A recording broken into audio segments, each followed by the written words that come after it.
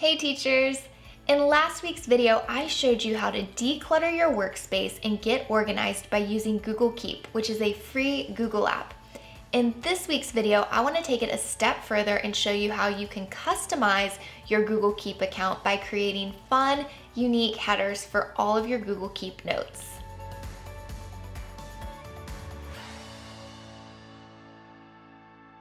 Before we dive in, I just quickly want to ask if you could take a moment to like this video and subscribe to my channel. I would greatly appreciate it. We create all of this content here for free on my channel, and by taking the time to like the video and subscribe to the channel, it enables us to keep producing free content for teachers around the world. So now let's go ahead and jump into Google Keep. If you are specifically looking for a Google Keep tutorial, how to use it, all of the different features and functions, I made that video last week and uploaded it to my channel, so just go down to the description and you can find that link here. But if you already know how to use Google Keep, but you're looking to customize your notes, you're in the right place. Now, there are several different ways that you can customize your Google Keep headers. And I like to use Canva to do it. And the reason I like using Canva versus PowerPoint or some of the other different options is because Canva has a lot of pretty pre-made templates that make it super quick and easy to use and you can also save all the headings that you've made so that way you can keep coming back and duplicating them if needed. Now Canva does come with a free version and a paid version and I want to preface before we jump on the computer and show how it's done that you do not need a paid account. I use Canva every single week for all different purposes and I do everything with a free account. So I really don't think you need the paid account unless you really want it. But let's go ahead and jump on my computer. I'm gonna show you how to create these custom headers and then transfer them into Google Keep. All right, so you are going to want to start by going to canva.com. You will need to create a free account to be able to use this. And then once you're logged in, click on create a design in the upper right hand corner and then I click on custom size. Now I find what works best for Google Keep is first of all, click on the drop down menu and change it from pixels to inches. I like a width of two inches and a height of five tenths or half of an inch, and then click on create new design. Now this box right here is what we will be creating in and the reason I like using Canva compared to PowerPoint or some other options is because it gives you all of these templates that you can choose from over here. So there's lots and lots of pretty things that will save you a lot of time. Now one thing to keep in mind, like I've already said, I do not recommend paying for a paid account but if you don't have a paid account, you can't use everything. So this one up here, you see it has the little crown for pro. That you will not be able to use unless you have a paid account. But you'll notice as I start hovering over these, anything that says free, I can use. So you'll see there's tons of options here for free. Now, a couple things to keep in mind if you decide to use a template. First of all, something like this is not going to work well inside of Google Keep. You have to keep in mind that everything that you create is going to look much smaller inside of Google Keep. Think how big those notes are. That's how big these images are going to be. So this image right here is not going to work because this cursive text, once it gets smaller, is going to be very difficult, if not impossible to read. Also, this text right here is way too small. You're not going to be able to read it once you put it in Google Keep. So make sure you are selecting a font or a template that has a big, bold font that is easy to read.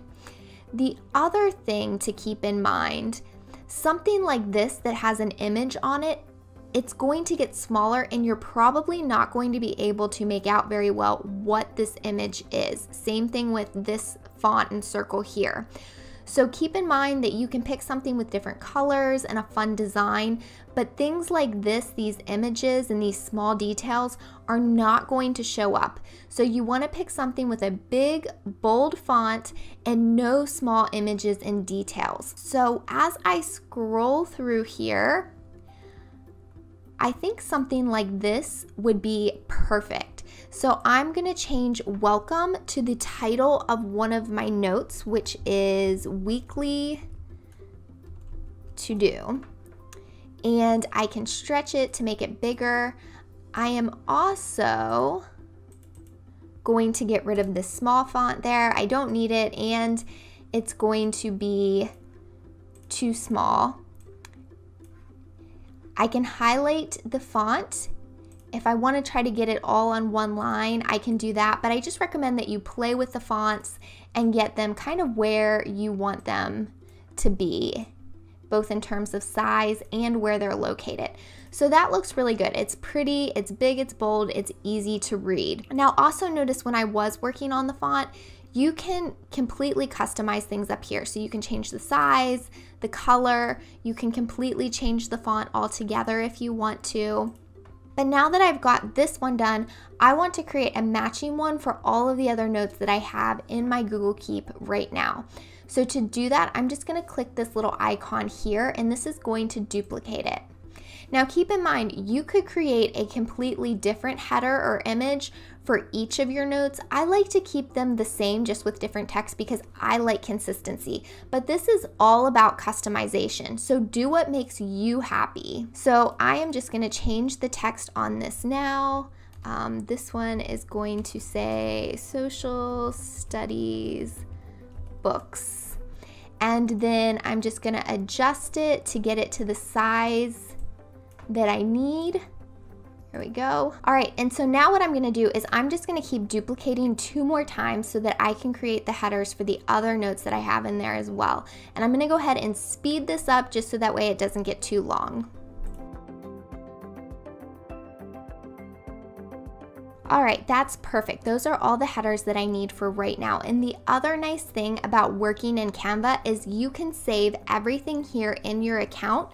And so next time I create another new note inside of Google Keep, I can just duplicate this and quickly create a new header that looks exactly the same as everything else. So it's easy to keep coming back to and creating a new one for your notes. Now what I wanna do is I wanna download these so that I can then use them in Google Keep.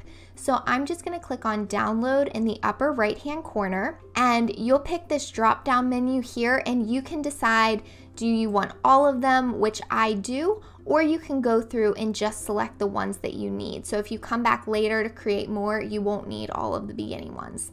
Then just click done and you'll go ahead and click on download. Now once you do that, it will pull up a folder with all of your downloads and you'll just want to save those to your computer. So after you've created your headers and you've saved them to your computer, now it's time to upload them in Google Keep. So after you have saved your images or your headers to your computer, go to your Google Keep account. So here's my account. These are the same notes that I created last week in the Google Keep tutorial. So to add my header images, I'm gonna hover over the note that I want, and then I'm gonna click on the add image icon. I'm going to find where I saved that image on my computer, and I'm just gonna upload it. So now you can see my custom header is here, and if I want to, I can even get rid of the heading or the title that I initially created because since it's here, I don't really need that typed one anymore. So now I'm gonna go through and I'm gonna do the same thing with each of my other notes. I am going to hover, click on add image, find that image and upload it. So there you have it. I have uploaded my header to each of these notes and you can tell it's a lot more personalized. It's a lot more me when I look at it and it's a lot more fun. Something that's really neat about creating these custom headers for your Google Keep notes and lists is that the custom headers will appear no matter where you are viewing your notes and list. So if I open Google Keep on my phone, I can also see all of those custom headers that I applied to the notes. They're not just on the computer. Now I showed you how to use a template in Canva to create those custom headers, but let's say you do not want to use a template. You wanna use your own fonts, your own backgrounds, your own designs, whatever. You can still do that in Canva. So very, very quickly, we're gonna jump back on my computer again, and I'm gonna show you how to start from scratch without a template. And this also does not take very long. So if you want to create your own without using a template, that's also very easy in Canva. You can just click the add page instead of duplicate and it will give you a blank page that you can work on. I can click the square up here and change the color of it. Then I can click text and add my text to it.